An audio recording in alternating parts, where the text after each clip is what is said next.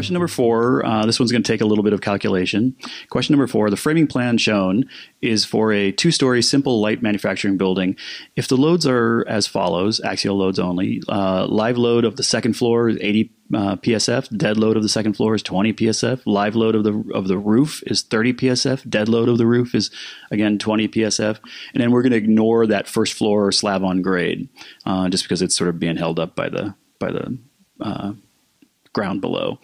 Uh, so we have two basic questions here. The first one is what is the total load uh, of the column that's been indicated? So what's the first thing we need to figure out? Well, the first thing that you need to know is that there are all these loads. So we're going to add those up in just a moment. But the big thing to understand is what how how does the load even get to the column? So the big key word is tributary area here. Tributary area. Yep. Yeah, it's a key word. It'll show up somewhere. Yeah, so basically we are going to have half of the bay in each direction, and I'm just going to draw a square here for you.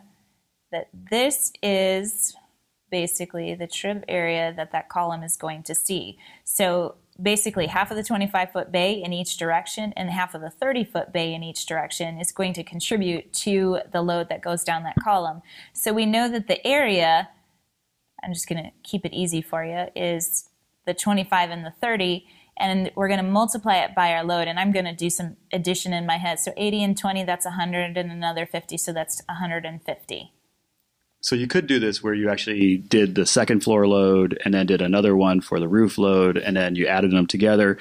Uh, what Heather's doing is just sort of putting it all into one Yeah. uh, one thing and since saying we just so wanted it's, the load at the bottom i it's so did a little shortcut. If you add them all up and multiply that by the area, that's going to be the 100, 150 Yep. PSF. So right now, if you notice though, uh, you want your answer in kips, and right now all my units are in pounds. So you will have to divide uh, for those that maybe aren't as aware. You have a thousand pounds in one kip, so we will have to divide this whole thing by a thousand.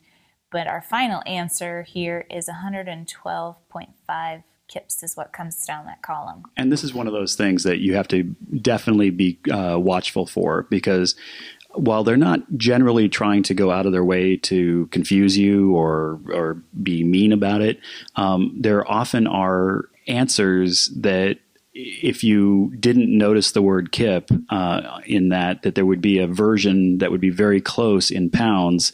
And so it's kind of you know taunting you to choose the pounds one even though it says kips you have to be really careful about uh, matching kips and pounds matching feet and inches matching uh, you know all of those kinds of issues show up all the time on this units. So units like are a huge deal. Um, so, uh, so the answer is uh, the first part of the answer is 112.5 kips, but then that leads us to the second question, which is if the soil below that column is capable capable of 4,000 psf. What is the size of the footing? So that means uh, the 4,000 psf is re- referring to the soil capacity. Right. Like, like uh, if you put a load on that's more than 4,000 pounds per square foot, presumably it would start to uh, settle or some problem would start to happen. So, uh, how can we make sure we're being safe? What kind of uh, area do we need to have, be able to handle that Right. uh, that load? So when you're figuring out the area of anything and you have a pressure, so we basically know that a pressure equals a force over an area. So we know P and we know that pressure and we're going to search for A. So by rearranging this equation, we're going to take the load and divide it by the pressure.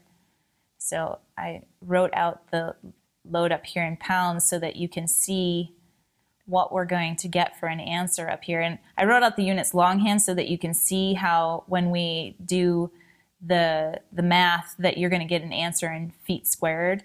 When you do this math, it ends up being 28.1 square feet.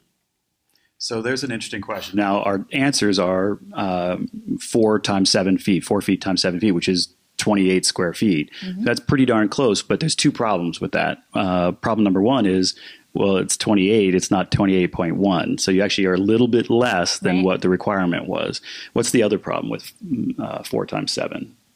Well, it's rectangular, which you can do. Um, there you- might be a reason why you would have to do it, but since it doesn't tell us anything about like we're up against the property line or Right. something, like why would you want to do that, right? Nope. So the the fact that it's not symmetrical, it's going to be you you it would be harder to get the rebar in there to figure out how to make that work to spread Yep. it out. It's, it just doesn't make any sense.